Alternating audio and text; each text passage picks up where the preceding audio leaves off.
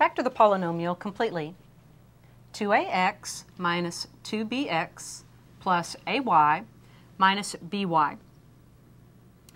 Now we can first look for a greatest common factor, but as we look at these terms, there is not a single value that's common to all of them.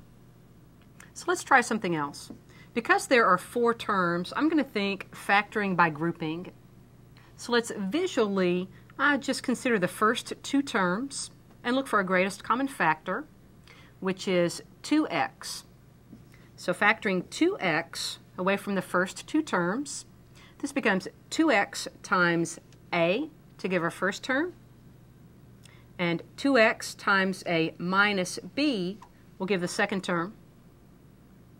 Now if we visually look at our last two terms and find a greatest common factor, which is y, let's factor that out of those terms. So this becomes a plus y times a to give this ay term and minus b to give our minus by term. Now we've met our goal at the second step of factoring by grouping in so much that we've got a common factor of a minus b in both of our large terms here. And now we can pull that common factor out into the front.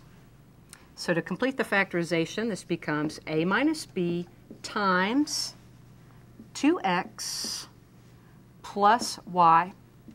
Therefore, our completely factored form is a minus b times 2x plus y.